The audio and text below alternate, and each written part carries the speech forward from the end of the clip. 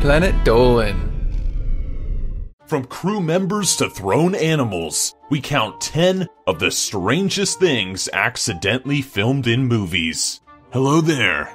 My name is Nixxiom, Lord of the Dead, and today I will be reading the words on this here piece of paper for your enjoyment. Number 10. Background extras normally get small pay for working very long hours, like in the 2003 film The Last Samurai starring Tom Cruise. The film told the story of a former American army officer who is hired by the Emperor of Japan to train the country's first army in modern warfare. In one scene, when Cruise's character arrives on horseback for the final battle, he dismounts. However, the horse must have had a problem with the extra behind him because, after getting off the horse, the horse kicks the extra in the groin. Now you'd think that he would be on the ground, writhing in pain, screaming in agony, you know, all that good stuff. But nah, he took it like a man and he stayed in character. That is one extra who deserves a raise. Number 9. Movie making is a lot of work, and it involves a lot of people. Everybody on set has their own responsibilities. The first assistant director, for example, is usually the one in charge of clearing up the set prior to filming a scene. But during the filming of Pirates of the Caribbean The Curse of the Black Pearl, another 2003 film, one person, presumably a crew member, can be seen behind Johnny Depp's left, staring into the water. This man sticks out like a sore thumb too. While everybody else in the scene is dressed in dark and dirty, old-timey clothes, this man is wearing a white t-shirt and a cowboy hat. You can see him when Captain Jack Sparrow gets the Black Pearl and gives orders to his men. I hope that this man enjoyed his three seconds of fame.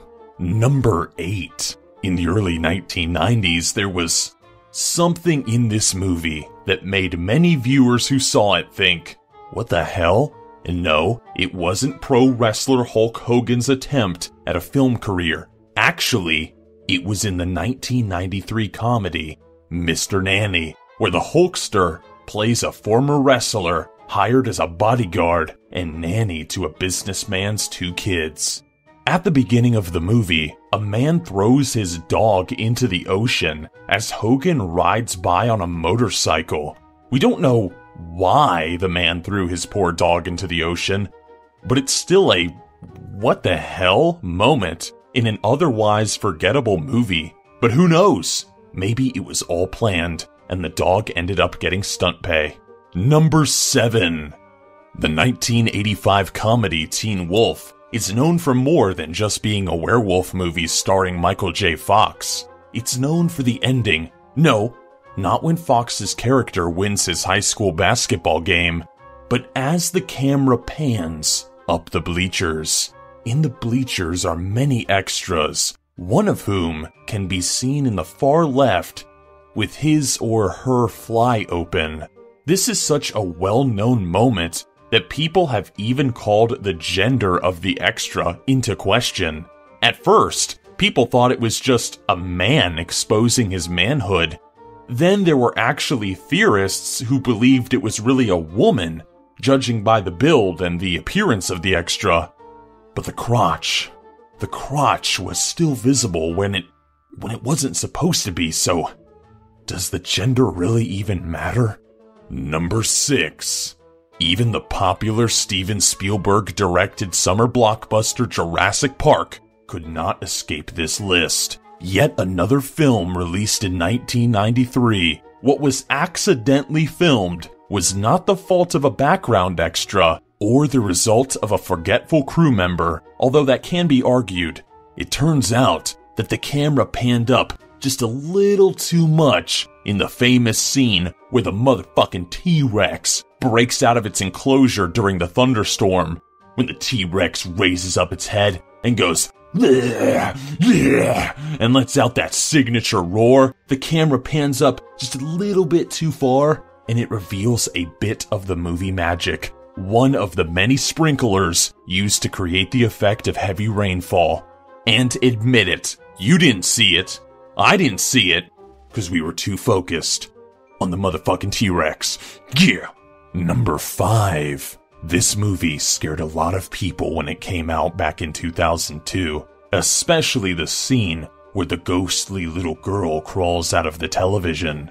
But what made this horror film even creepier was something that was accidentally filmed in the background, if someone notices it. Towards the end of the movie, when the characters Rachel and Noah are about to put their sleeping son Aidan to bed, something lurks in behind them. It's a figure standing in a darkened room in front of a moonlit window frame. You see the figure's head and shoulders just after Noah picks up Aidan from the floor. Of course, there was a wild theory that it was a real ghost. To others, well, just another case of a stagehand not doing a good job of hiding when the cameras rolled. By the way, this is the second time that a movie directed by Gore Verbinski made it on this list. The first was Pirates of the Caribbean The Curse of the Black Pearl, and it was for basically the same reason. Unless the movie's actually haunted. Number 4. Most people remember the musical Willy Wonka and the Chocolate Factory for Wonka's disturbing psychedelic boat ride through the tunnel. But there's a scene that might make us feel pain and not disturbed. It's also completely unintentional. Earlier in the movie, hungry children visit a candy shop where the clerk sings a song. The Candyman can.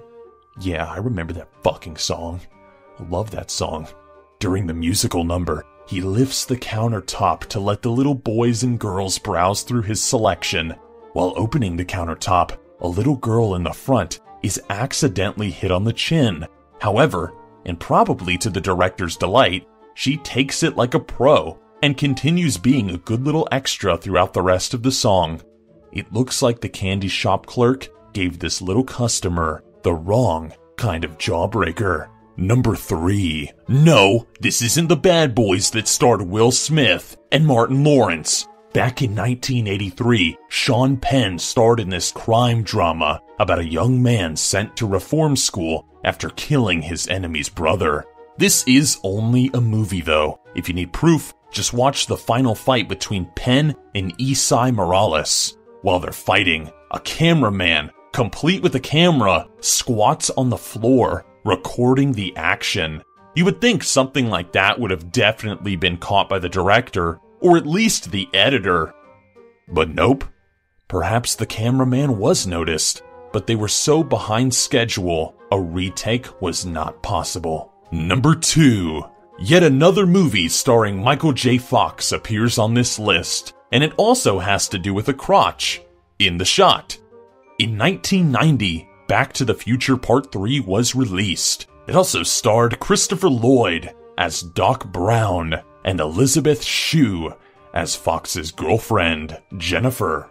Towards the end of the movie, when Doc Brown is talking to Marty and Jennifer from the train, behind him you can see a little boy signaling to his crotch. At first, he makes an innocent enough gesture to get someone's attention off camera, but then he points to his crotch. Though some speculate he was just a little pervert who had a little thing for Shue, it's more than likely he just had to go to the bathroom. He does, after all, have a pretty uncomfortable and desperate look on his face. Yeah. But hey, if you gotta go, you gotta go.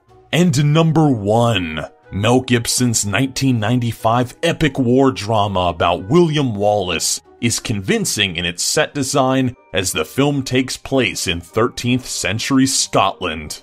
Unfortunately, despite winning five Oscars, there are at least a few scenes that remind viewers what century it really is. Although not too noticeable, a car can be seen driving in the distance when Gibson, as Wallace, stands back up after kissing the deceased Murron. Another, more obvious glimpse of a white car can be seen during a battle scene in the lower left hand corner. But cars aren't the only modern day invention that can be seen in this period piece. A random man in a baseball cap, probably a crew member, can be briefly seen behind a crowd while Gibson talks. What is it with all these random people appearing in all these scenes? And also, I can say that William Wallace and his gang could have maybe used that car or two during the battles. If he had had those, then William Wallace would have definitely have had an edge against Edward Longshanks. But no. No. Alright everybody, thank you for watching. But we have a new question for the day. What was the worst time you were ever caught lying? Let us know in the Reddit page linked below, and you might be featured in a future countdown.